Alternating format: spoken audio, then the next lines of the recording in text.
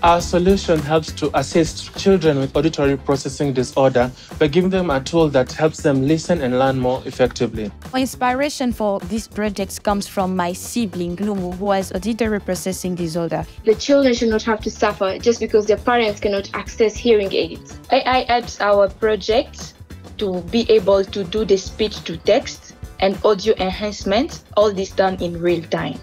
Tawi is a Swahili name. In English, it means the sprouting leaf. And uh, children are the sprouting generation. And we wanted to do something for them so that they could be uplifted and reach their full potential. I feel incredibly grateful and honored to compete for the World Championship and at the same time enjoying the experience.